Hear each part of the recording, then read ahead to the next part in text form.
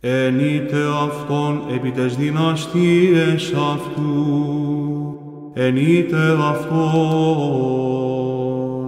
κατά το πλήθος της μεγαλοσύνης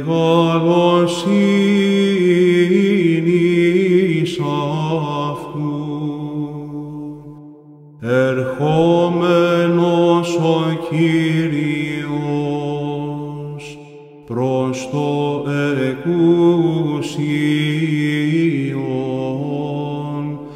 πάθος.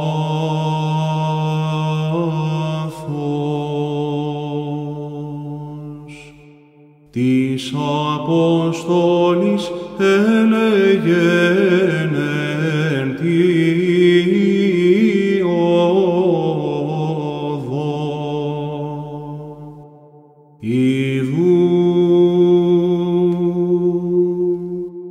αναβαίνομεν εις Ιεροσόλυμα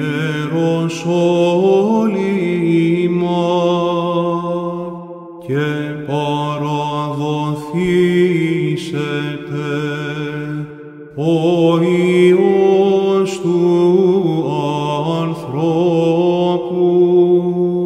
καθώς γεγράπτε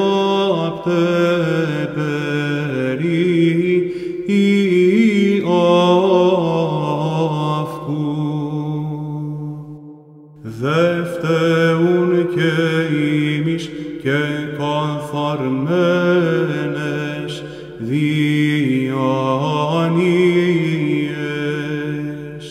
συμπορευθόμεν αυτό και συσταυρωθόμεν και νεκρωθόμεν δι' αυτόν τες του βίου ειδώνες. Ήνα και συζήσομεν αυτό και ακούσομεν βόντος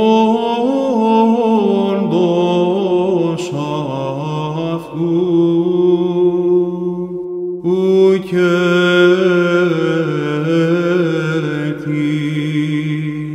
εις την επίγειον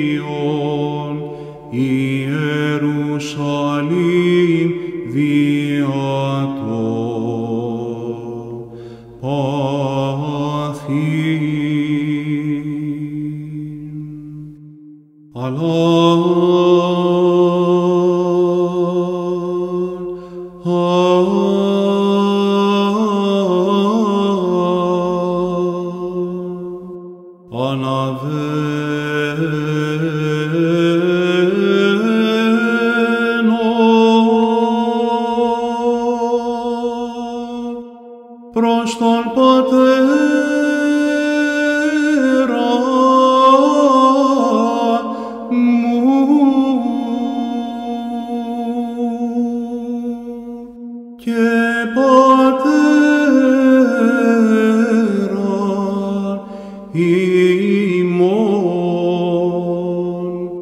και Θεόν μου και Θεόν ημών και συνάνυψω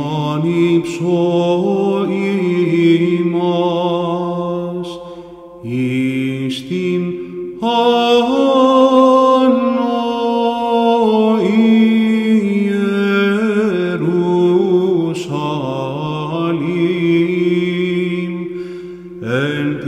βασιλεία